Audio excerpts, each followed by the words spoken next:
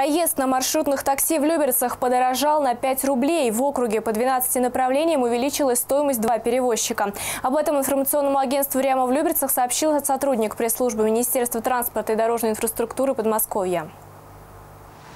Компании-перевозчики «Автоновио» и ТФ «Спартак-Л» повысят стоимость за проезд с 9 апреля. Напомню, перевозка пассажиров происходит по регулируемым и нерегулируемым тарифам. Стоимость проезда во втором случае устанавливается перевозчиком самостоятельно, но сделать он это может лишь один раз в год. Главной причиной повышения платы за проезд является подорожание топлива для автомобиля и его обслуживание. Таким образом, повышение тарифов за проезд на 5 рублей. В маршрутках компании «Автоновио» произойдет по следующим номерам. С 12 по 16, 35, 39, 43, 57 и 77. А также второй компании «Спартак-Л» на маршрутах номер 8, 9 и 14. Мария Антонова, телеканал ЛРТ.